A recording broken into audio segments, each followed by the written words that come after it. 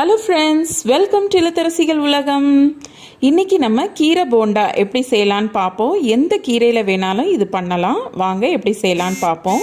First ஒரு பவுலில் ஒரு வெங்காயம் நல்லா நறுக்குனதை நீட்டில் நீளமாக நறுக்குனதை ஆட் பண்ணி இந்த மாதிரி நல்லா பிசைஞ்சுக்கணும். அப்போ தான் வெங்காயம் எல்லாம் தனித்தனியாக பிரிஞ்சு வரும். இப்போ இது கூட நான் ரெண்டு கைப்பிடி ஃபுல்லாக முருங்கைக்கீரை ஆட் பண்ணியிருக்கேன் பொடி பொடியாக நறுக்குனதை ஆட் பண்ணியிருக்கேன் நீங்கள் எந்த கீரை உங்ககிட்ட அவைலபிளாக இருக்கோ அதை நீங்கள் ஆட் பண்ணிக்கோங்க. ரெண்டு பச்சை மிளகாய் நல்லா பொடியாக நறுக்குனதை ஆட் பண்ணிக்கிறேன். கொத்தமல்லி கருவேப்பிலை நல்லா பொடியாக நறுக்குனதை ஆட் பண்ணிக்கலாம்.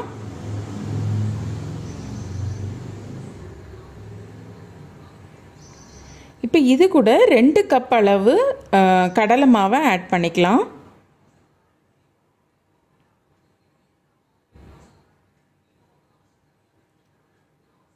இது இது கூட ஒரு அரை கப் அளவு அரிசி மாவை ஆட் பண்ணிப்போம்.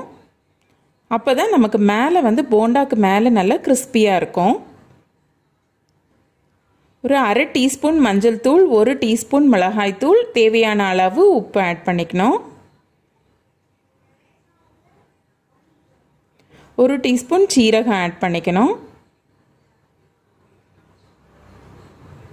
பெருங்காயத்தூள் ஒரு கால் டீஸ்பூன் ஆட் பண்ணிக்கலாம். ஆட் பண்ணிவிட்டு இதை ஃபஸ்ட்டு நல்லா எல்லாத்தையும் மிக்ஸ் பண்ணிடுவோம்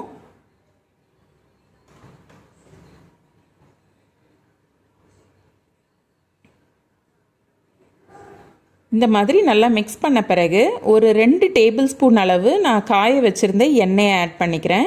நம்ம ஸ்டவ்வில் பொரிக்கிறதுக்காக நம்ம எண்ணெய் காய வச்சுருப்போம்ல அந்த எண்ணெயை வந்து கொஞ்சம் சூடாக லைட்டாக சூடாக இருக்க மாதிரி எண்ணெயை ஆட் பண்ணிக்கலாம். அப்போ போண்டா வந்து மேலே நல்லா கிறிஸ்பியாக வரும். அது மிக்ஸ் பண்ண பிறகு இந்த மாதிரி தண்ணி கொஞ்சம் கொஞ்சமாக தெளித்து நம்ம வந்து போண்டாக்கு வந்து மாவு பிசையணும்.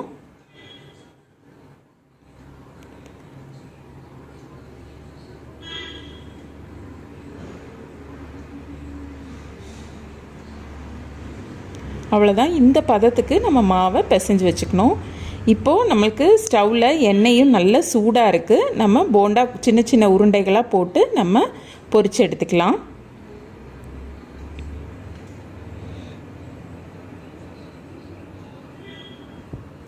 இந்த போண்டா வந்து நீங்கள் வெறுமனே கூட சாப்பிடலாம். இல்லை நீங்கள் தேங்காய் சட்னி இல்லை சாம்பார் கூட வச்சு சாப்பிட்டா கூட நல்லா டேஸ்ட்டாக இருக்கும். ஈவினிங் டைம் ஸ்நாக்ஸுக்கு பர்ஃபெக்டாக இருக்கும் இது.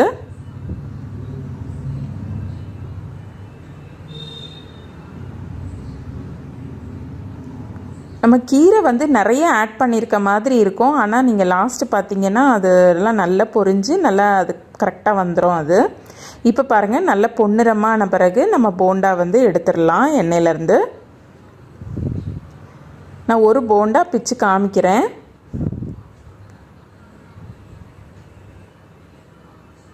அவ்வளோதான் நம்மளுடைய சுவையான மேலே கிறிஸ்பியாக உள்ளே சாஃப்டாக இருக்கிற ஹெல்த்தியான கீரை போண்டா சூப்பராக ரெடி ஆயிருக்கு. வாங்க சுவைக்கலாம்.